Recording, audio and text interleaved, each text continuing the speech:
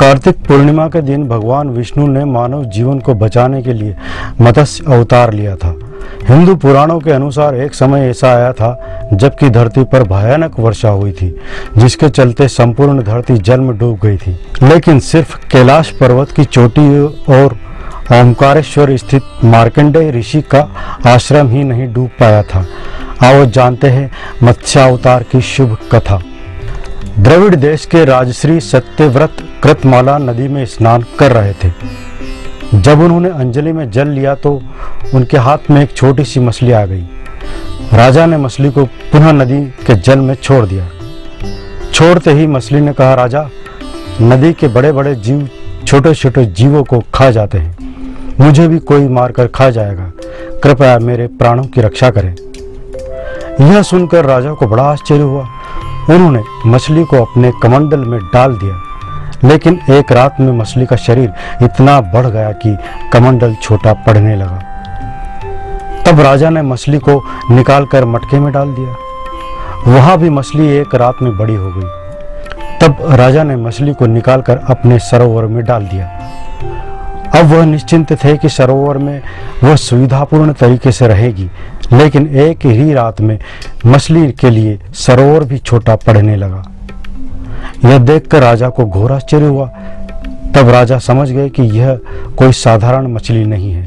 उन्होंने उस मछली के समक्ष हाथ जोड़कर कहा कि मैं जान गया हूँ कि निश्चित ही आप कोई महान आत्मा है। यदि यह बात सत्य है तो कृपया करके बताइए कि आपने मत्स्य का रूप क्यों धारण किया है। तब राजश्री, राजा सत्यव्रत के समक्ष भगवान विष्णु ने प्रकट होकर कहा कि, हे राजन, हैग्रीव नामक दैत्य ने वेदों को चुरा लिया है। जगत में चारों ओर अज्ञान और अधर्म का अंधकार फैला हुआ है। मैं हैग्रीव को मारने के लिए हैग्रीव का रूप धारण करूँगा। आज से सातवें दिन भूमि जल के प्रलय से समुद्र में डूब जाएगी।